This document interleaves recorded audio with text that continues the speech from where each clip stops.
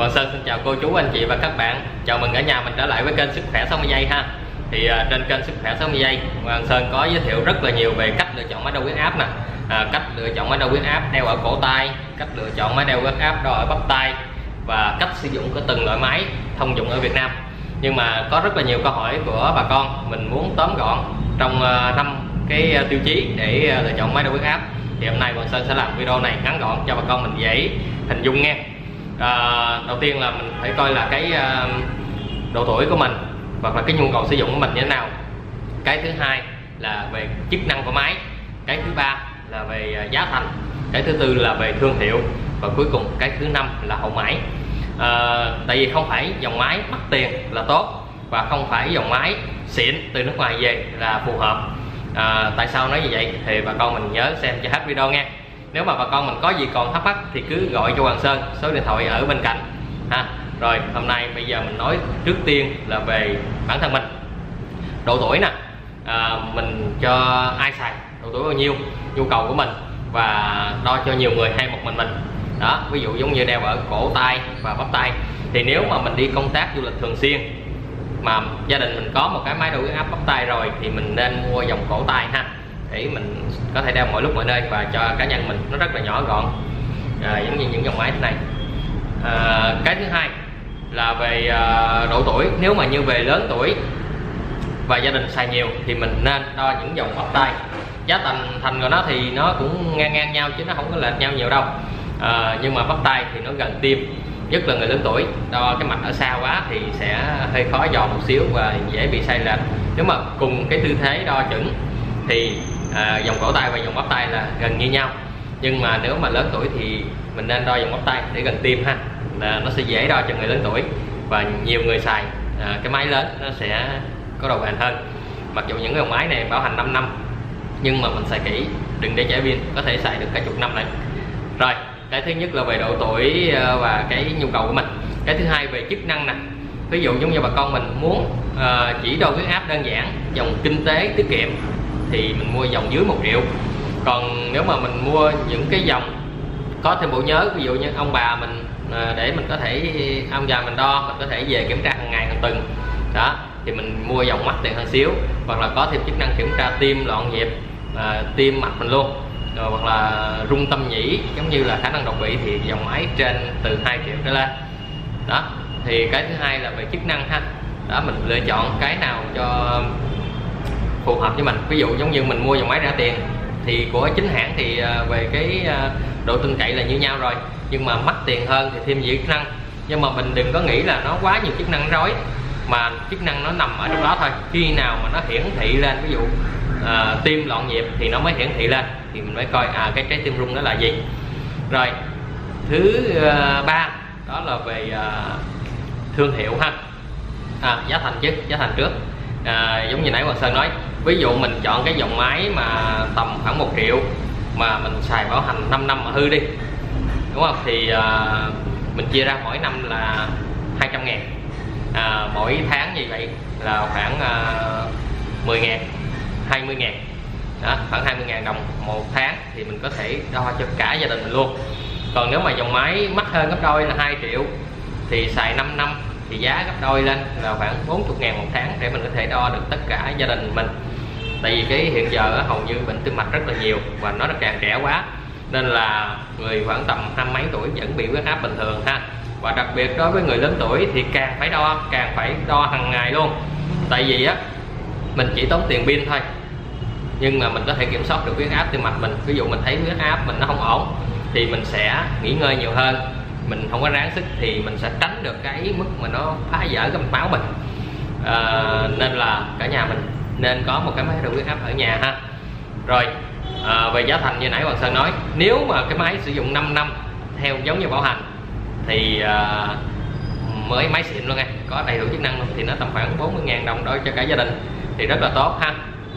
Mình đã phòng bệnh dễ lắm mà chữa bệnh tốn tiền và rất là khó. Đó nên là cả nhà mình thấy nếu mà như ví dụ cái máy nãy Hoàng Sơn nói rất là nhiều máy mà Hoàng Sơn thấy là nó xài được cả chục năm luôn nếu không bị trả pin á thì giá thành mình nó sẽ rẻ xuống một nửa nữa ví dụ nãy 20 ngàn một ngày của cái máy thông dụng thì xuống còn 20 ngàn một tháng chứ xuống còn 10 ngàn một tháng thôi. Rất là rẻ ha. Đó thì à, cái đó là giá thành bà con mình nên cân nhắc. Ví dụ mình mua một cái máy rẻ tiền à, mình xài được 5 năm rồi mình mua cái máy mắc tiền hơn mình xài 10 năm thì mình thêm có tí xíu tiền mình khỏi phải suy nghĩ nữa.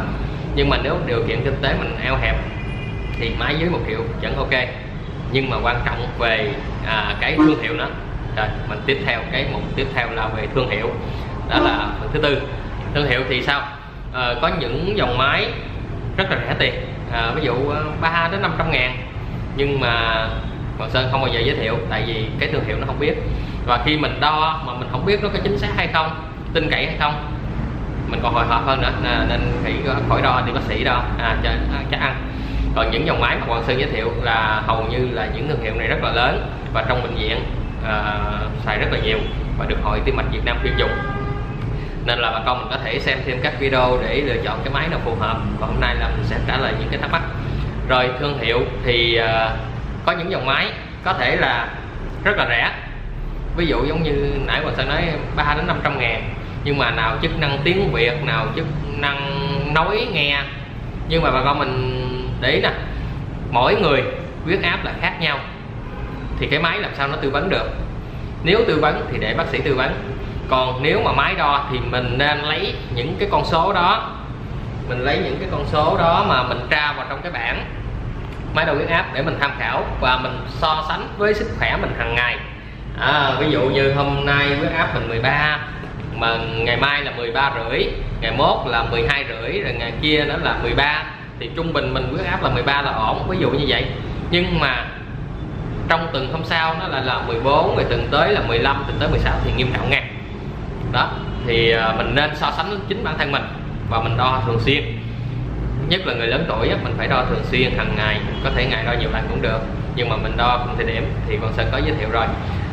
Rồi um, ví dụ huyết áp của mình người lớn tuổi bình thường là 14 14 14 đồng mỗi ngày nó bình thường là huyết áp cao nhưng mà nếu bình thường nó nằm im 14 không thì ok không vấn đề gì hết. Còn nếu bình thường mình đo ngưỡng là 12 mà nhảy lên 14 thì rất là cao nghe.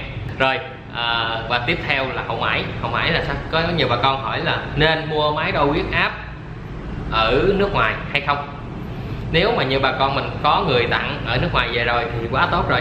Tại cái tiêu chuẩn ở ờ, các nước như là Mỹ châu Âu thì nó rất là khắt khe. Ví dụ giống như những dòng máy ở châu Á đi thì à, nó đo tầm khoảng chín điểm rưỡi là ok. Nhưng mà ở châu Âu thì nó phải là 9,6 9,7 nhích hơn một chút thì quá tốt. Nhưng mà nếu mà mình bỏ tiền ra để mà mua một cái máy từ nước ngoài về thì mình phải suy nghĩ xem. Tại vì có như thể nó khi nó trục trặc một cái hoặc là mình rớt va đập gì đó mà mình cần đo lại thì lại không có cái thương hiệu ở đó ở Việt Nam để mình đem đi bảo hành sửa chữa hoặc là có thể kiểm định lại chất lượng. Đó nên là mặc dù cái máy có thể nước ngoài rất là xịn nhưng mà để mua thì em nghĩ là bọn Sơn nghĩ bà con nên mua ở Việt Nam đi thì nó sẽ hay hơn về chế độ bảo hành. Tại vì uh, đâu phải mình xài một tháng hai tháng đâu mà mình xài 5 năm 10 năm. Ví dụ giống như hết hạn bảo hành 5 năm hãng vẫn có linh kiện để sửa cho mình thêm vài năm nữa nha.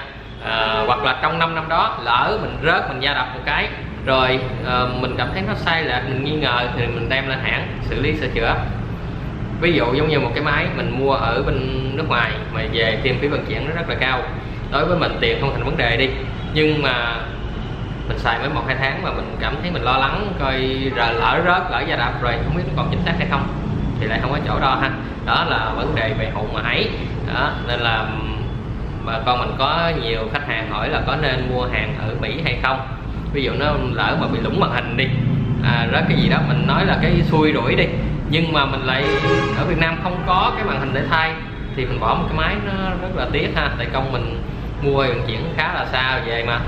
Đó thì à, hôm nay Hoàng Sơn sẽ giải thích với cả nhà mình năm điều quan trọng à, để à, quyết định mua một cái máy đo huyết áp đó là về cái thói quen của mình gia đình mình lứa tuổi của mình đó, cái thứ hai là về à, chức năng mình cần chức năng cỡ bao nhiêu. Cái thứ ba là giá thành. Mình nên cân nhắc trước khi mua giá thành nào phù hợp với mình. À, đừng có mua dòng máy quá rẻ mà đừng có mua dòng máy quá mắc. Nếu mà cái điều kiện mình không cho phép nha. Không hay mắc là ngon đâu. Mình mua cái mắc quá mắc quá. Mình cảm thấy tiếc mình cảm thấy hồi hộp thì khi đó mình huyết áp mình bụng lên đó mình sợ hư á. Cái đó mình nói chơi nhưng mà thực sự nó rất là thật luôn. Khi mình đo cái tâm trạng mình phải thoải mái nha rồi, và thương hiệu. Thương hiệu, mình chọn một cái thương hiệu uy tín. Rồi, và cái cuối cùng nãy như Hoàng Sơn nói là chế độ hậu mãi.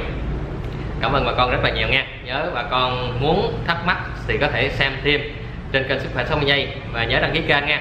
Nếu bà con mình cảm thấy hữu ích thì à, chia sẻ cho người thân mình cùng xem. Hoặc là có gì thắc mắc thì để bình luận bên dưới. Và hầu như các thắc mắc của bà con nếu chưa có giải thích thì Hoàng Sơn giải thích trong video tiếp theo còn như nãy mình sẽ nói là cách lựa chọn máy đo huyết áp nào cho phù hợp nè. Cách lựa chọn dòng đo huyết áp cổ tay như thế nào cách lựa chọn máy đo huyết áp bắp tay thế nào và từng loại máy sử dụng thế nào. Nếu bà con có thắc mắc thì cứ uh, gọi điện hoặc nhắn tin cho Hoàng Sơn theo số điện thoại ở trong cái uh, bên dưới Hoàng Sơn để đó. Uh, Hoàng Sơn có thể gửi riêng video đó cho bà con mình xem luôn. Rồi chúc bà con mình nhiều sức khỏe tạm biệt và hẹn gặp lại.